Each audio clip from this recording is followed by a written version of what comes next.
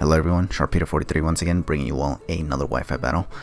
This one is actually going to be in the Ubers, uh, I guess tier, kind of, for the first time ever. Um, and my opponent for it is actually going to be Abnix. As you can see, the teams that we have, they're kind of similar, which is actually kind of interesting considering this team that I got is a pretty old one actually. Like I got this team somewhere around early last year, like somewhere around March or April or something like that. So for me to see this guy having a similar team is kind of it kind of says a lot about the Ubers so and so tier.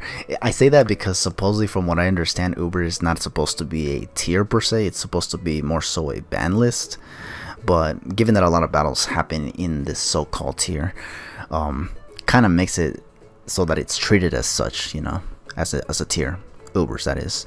So yeah. But anyways, with all that said, let's just get into the battle. This is actually my first battle in the in the Ubers quote unquote tier because you know I'm not really a fan of using legendaries in Wi-Fi battles honestly. But I wanted to try it out nonetheless so I figured why not. So anyway here we go. So I lead off with Groudon and he leads off with Arceus which conveniently enough for him it seems to be ground which is bad for me. But nonetheless I decided to stay in and just go for a Precipice Blades I think is what it's called Precipice Blades or something like that yeah, and he's to go for Judgment, which does over half, but it's not enough to KO me, thankfully. I think I stayed in because I was kind of hoping he'd over-predict here. Staying in was obviously not ideal, but again, I, I didn't know what this thing could go for. Like, I was afraid of going into, um, what's it called, the Ho, just because it can go for Stone Edge. Like, you know, Arceus can get all kinds of moves, so obviously I didn't want to just simply switch out and you know try to predict very early in the game but um, now I do try to switch out and hopefully he doesn't switch up his move to something that can answer Ho-Oh.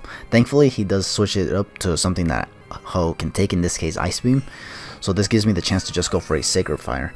From what I understand this is actually an offensive Ho with Life Orb so going for Sacred Fire here I'm, I was hoping to get good damage and thankfully I do. In fact that's actually a 2 hit KO and this puts me in a position where he would have to switch out, um, predicting me to go for another Sacred Fire, which is what he does. And he goes into Palkia as a result.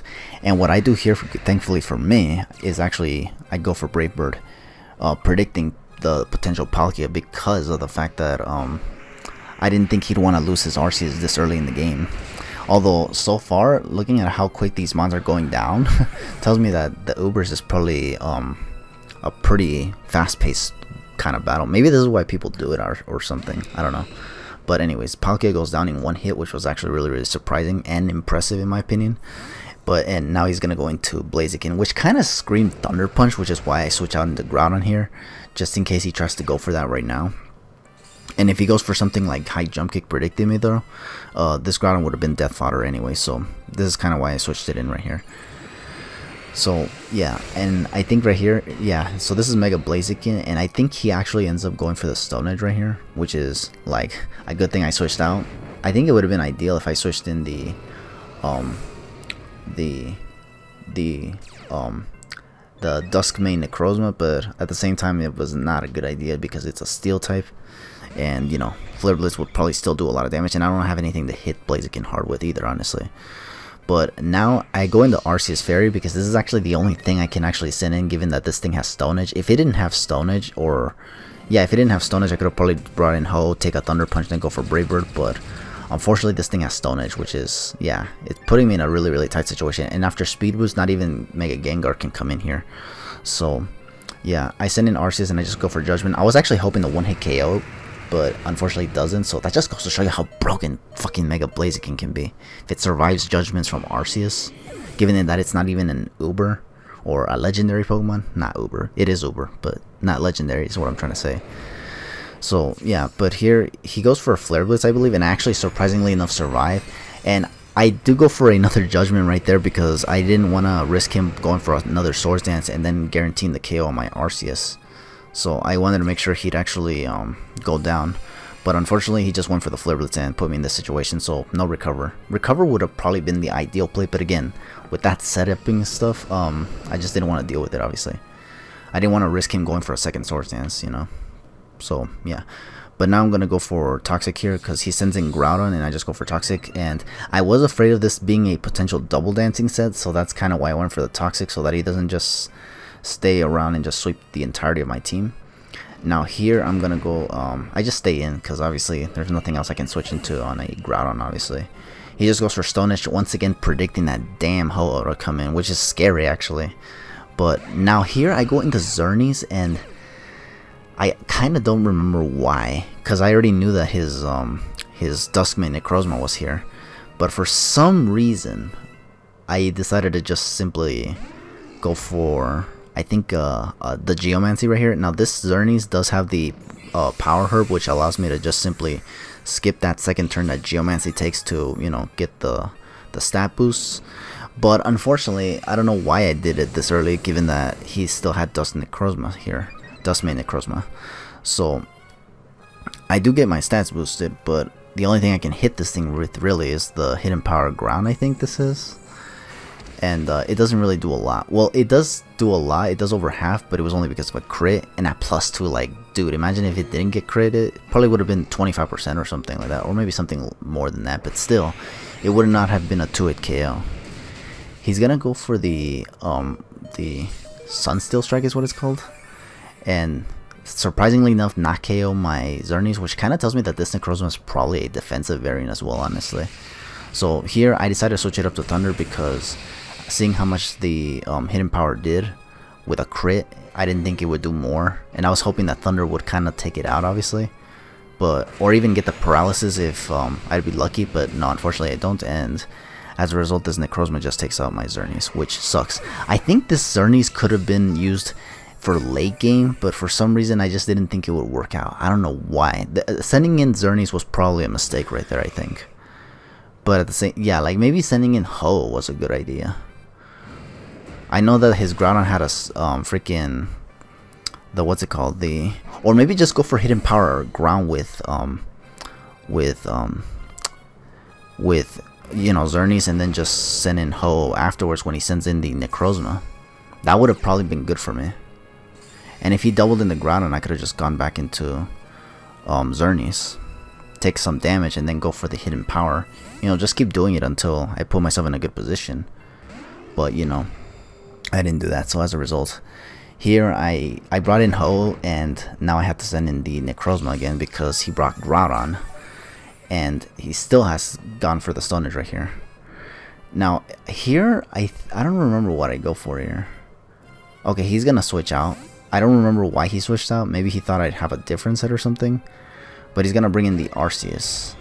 Now, I, I go for Stealth Rocks right here because I wanted to wither down that, that Groudon as much as possible because if he's toxic and with rocks and if he sticks around just to set up a move or something, he can go down really, really quickly just from the poison alone. But he does switch in this Arceus, which gives him the chance to recover, which is annoying. So I decided to hard switch into Gengar right here probably should have went into the the Ho-Oh right here. So maybe this was another mistake, honestly. But the reason why I was kind of thinking at the time that Gengar would have been disposable here was because he still had the Xerneas, and I mean not Xerneas, the Yveltal on his team. And I figured this thing wasn't going to be useful anyway since the only other attacking move this Gengar has is Focus Blast, which wouldn't do much honestly. And on top of that it has Sucker Punch. I don't know. Or they can get Sucker Punch. I don't know if it actually has it or not. But yeah, not to mention, given the maximum amount of special attack that Gengar has, I was kind of hoping that I'd be able to take out the Arceus, given that it was burned with Hex, honestly. But unfortunately, that wasn't the case, and then this thing just hits me really hard with a Judgment, which is the ground type, and just takes out my Mega Gengar, which sucks. So now here I just send out my Ho-Oh. Just going for the, um, I think just the the Sacred Fire? Yeah, just to not take any more recoil damage, plus Life Orb, so... Um, I do take out the Arceus, which is really, really good. But now, unfortunately, this gives him a chance to just go back into Groudon, which is annoying, actually, because this thing, I don't know. Like, had I not maybe um, messed around with that Xerneas at the time, I would have probably have gotten some... I would have probably had it, this Groudon a little bit more withered down, I feel. Because I would have still had the um, the what's it called the Gengar relatively healthy. I just need to make sure he doesn't set up that freaking rock polish. But yeah, So here he goes for Stone Edge because I switch out Ho. I did not want to take a Stone Edge and I didn't want to stay in um, risking that possibility. So I just went into Necrozma right here and he's actually going to go for Stone Edge and I went for the... Uh, I think I went for the Sunsteel Strike because that was the only move I could go for in this thing. I didn't have like anything fancy like Earth Power or anything like that. And he's just to go for the Rock Polish. Now seeing how he set that up straight in my face tells me that he kind of already knows what the set for this Necrozma is honestly. In fact, seeing a lot of how he played in this battle kind of tells me that he already knew kind of what I wanted to do with this team, honestly. Even though I personally did not know what I wanted to do with this team, because I've never done Ubers. This team was, I didn't even make it. I just um, used it. But even then, I didn't know what I wanted to do with it. But nonetheless, I did pretty good uh, given how close this battle is so far. However, unfortunately for me right here, I actually make a misplay and actually switch into Ho. The problem was that I was actually kind of afraid of him just going for the the precipice blades and just simply taking out my necrozma. And what I wanted to do was actually stall so that he get like he go down the poison. But unfortunately I just got like I over predicted basically. And as a result this um this ground just basically finishes me off before he goes down to toxic. So as a result I lost. Did I choke that battle eh I don't I don't think so or maybe I don't know because the the switch was not unreasonable. I wanted to stall to make sure that thing goes down to poison so that I could still have the Necrozma around for when the Yveltal comes in. But at the same time, it would have probably been inconsequential for Yveltal, honestly, because Yveltal just simply Dark Pulses Necrozma. So maybe I should have just stayed in, honestly. And then send in Ho if it survives the poison, the Groudon, and then I could just maybe hope it misses Stone Edge. And if it misses, then maybe I could deal with the Yveltal, assuming it's not a physical variant. So if that was the case, I probably could have won this battle, which, not gonna lie, I mean, even though I lost the battle, I think it was kind of impressive actually, given that I've never done Ubers before, so yeah, but um, anyways, that's gonna be the whole battle. Uh, gg2 Abnix, that was actually a pretty cool, uh, cool battle. Jeez, I can't talk. Sorry, it's because it's kind of late at night here right now, and I'm actually kind of tired. But um, yeah, this was a cool battle. I think it was. Um, and the guy was pretty chill as well, honestly. Like he kind of told me why I made a mistake in switching out um Ho into the Groudon because of the potential Stone Edge and whatnot. And uh, yeah, like there was no problems, uh, you know, like I typically would have. But yeah, so with all that said, I'll catch you guys for the next battle. For now, just take it easy and have a good one.